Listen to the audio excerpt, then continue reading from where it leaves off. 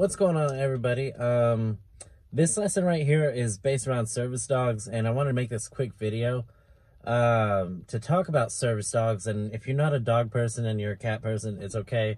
Just move on to the next video. I don't uh i don't believe the service animal thing applies to cats. You might want to check with your local uh state laws on that. But uh i've never seen it. So uh with service dogs i've gotta say my service dog zeus has been such an amazing help during my transition um, when I had really, really, really bad, like disabling anxiety where I couldn't go out anywhere. I couldn't do anything. I couldn't drive a car. I couldn't go shopping. Couldn't even go into the living room. You know, I started suffering from bad agoraphobia, which um, essentially is like where your walls start closing in. And so just in this little apartment that wasn't mine, um, my friends, um, it just started, the walls just started closing in. And my dog helped me so much um, it's a perfect like diversion tactic, and you know we talk about diversion a lot um, in the Anxiety Hacker program. But the dogs, uh, it, gosh, they're amazing. You know, like I'm a I'm a huge believer in service animals, service dogs, stuff like that. And Zeus has helped me so much to where like it's crazy nowadays. Like I say, I'm his service person. You know, he's no longer my service dog because I used to like rely on him a whole lot. Um, and there's for so many reasons um but now like i don't need him but i bring him out because he now has anxiety. Maybe it rubbed off. But um the the diversion tactics uh, are just absolutely incredible. You know you think about it whenever you know those of us uh, that have anxiety social anxiety um anything we go out and it's so easy to get focused on one thing that's causing the anxiety that's uh, the social especially with social anxiety it's people. But with having a service animal, it was incredible because you had like somebody there to help you. Um, somebody that's your friend, this animal that's your friend, and the tugging and pulling and and just kind of guiding him, you know, or her, you know, as you're as you're like guiding your service animal.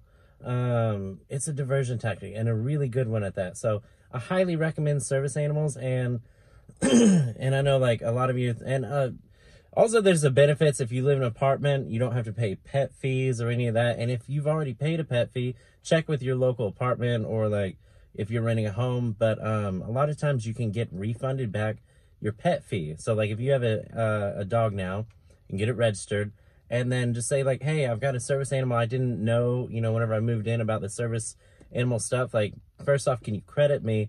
Uh, not charge me monthly for my service animal, but would I be able to get a refund on my pet deposit since now this is a service animal?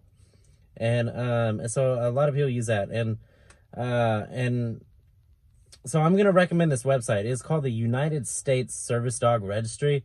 And this is where like pretty much, you're pretty much just signing this e-document saying like, hey, my dog is trained, like, uh, my dog knows how to act. He's my service animal, blah, blah, blah.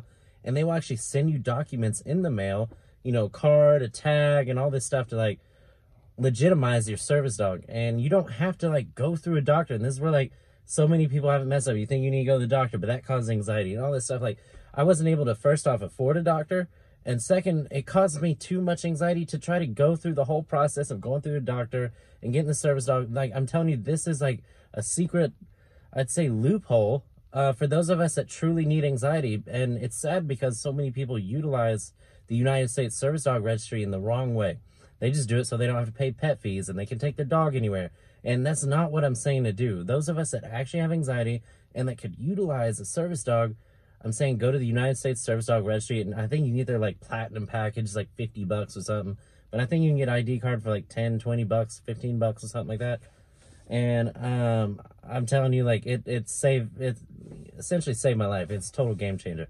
So go out there, register your dogs as service dogs, just like, even if you don't take your dog anywhere, like just to have it um, is good. Just to like have it up here that you can take your dog anywhere if you need it. Um, and there are times that I have like really bad anxiety where I have to have my service dog, you know, um, events I speak at, uh, or I've got a big conference coming up with about 6,000 people I'm going on stage at.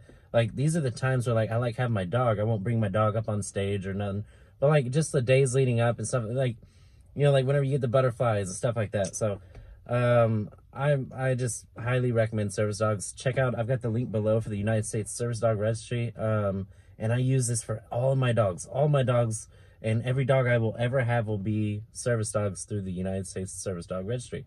All right, peace.